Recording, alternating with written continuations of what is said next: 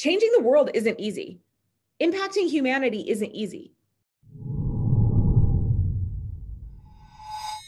We want everything to be easy. And changing the world isn't easy.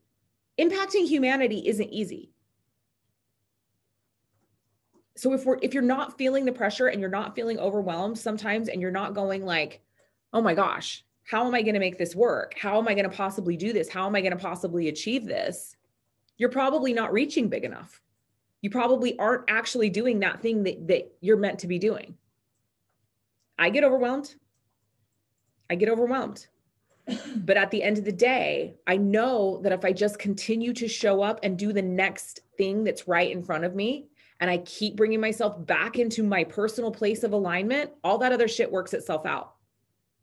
And if I'm diligent in my personal practices and I'm making sure that I'm taking care of myself and I'm making sure that I'm in alignment, the overwhelm goes away.